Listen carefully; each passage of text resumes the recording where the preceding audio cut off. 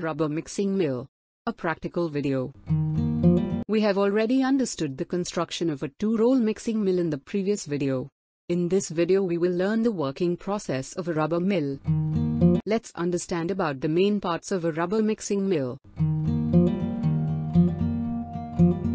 First step in mixing mill operation is to load the mixed rubber compound from an internal mixer or a Banbury mixer. The compound can be fed through a automated feeder or manually, depending on the quantity of compound and availability.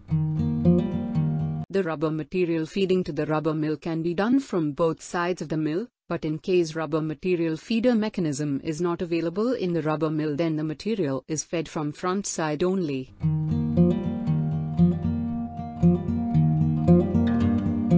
Now the rubber is rotated on the rollers between front and rear roll to make a homogeneous rubber sheet.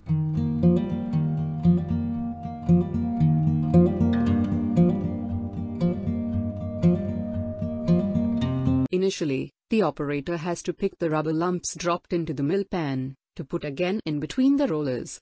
Later on, the compound forms a sheet which kept on rolling on the roller on its own.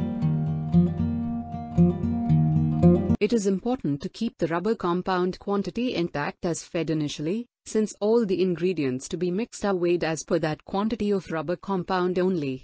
Any loss in rubber compound during mixing may result in wrong ratio of curing agent and thus, the compound may get rejected. The operator adjusts the nip gap at different stages of mixing to get proper and well dispersed rubber compound. Initially, it is set to be on higher side. As and when compound become more homogeneous, the nip gap is reduced. The operator should take help of supervisor to decide the correct nip gap.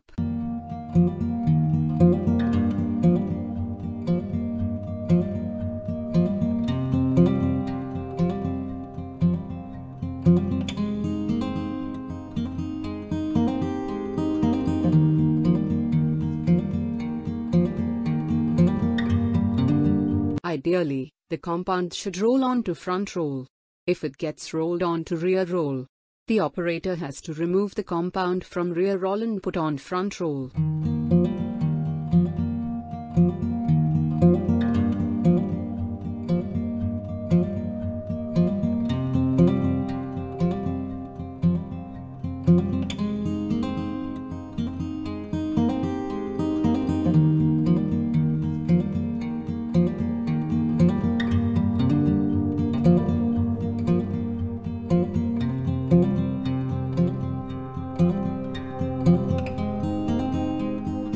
Once the rubber becomes a homogeneous sheet, we add other ingredients to make rubber compound, such as sulfur and other curing agent.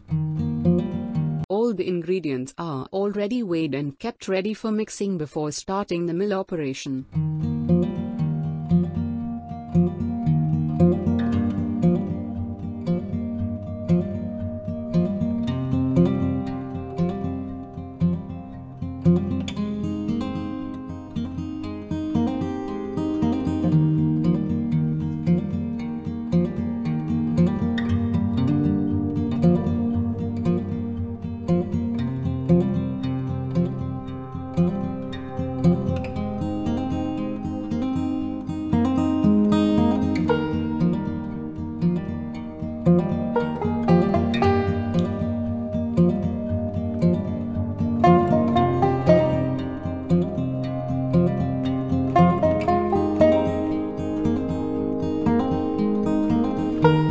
Rubber and other ingredients are rolled together many times.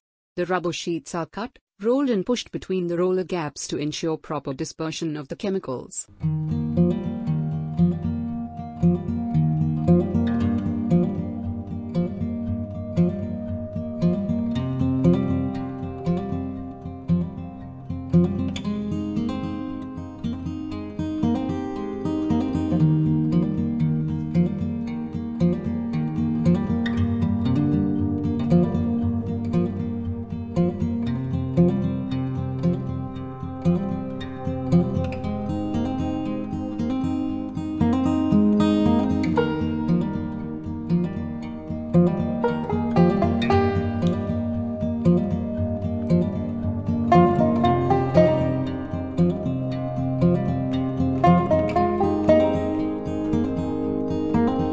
As mentioned earlier, any loose material dropped in the mill pan should be fed to the roller to mix with the compound lot.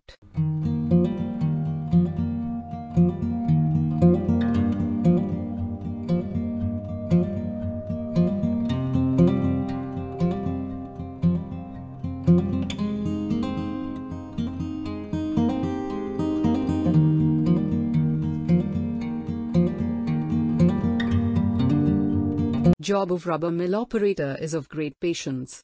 Any hurry in completing the rubber mixing may result in compound rejection. Always wear a protective gloves during rubber mill operations. They will help in keeping you safe from any sharp object such as knife used for sheet cutting during mill operations. They will also protect your hands from chemicals which may be harmful for your hands. Always maintain a safe distance from rollers and belly bar. Even if you press belly bar accidentally, it will stop the machine. Always keep your hands on a safe distance from roller nip.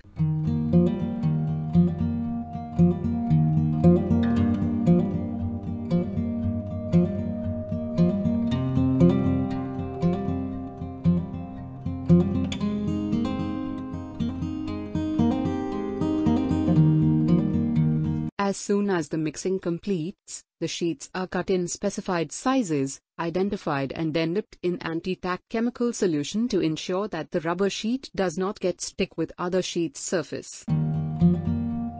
After completing the cooling process the rubber compound sheets are dried in cool air. Later on, the rubber compound sheets are marked with their identification and production batch details. The finished quality approved compound is then moved to designated stores area. A rubber mill operator needs to create a production report, which should has target, actual produced quantity, and delays in production with reason.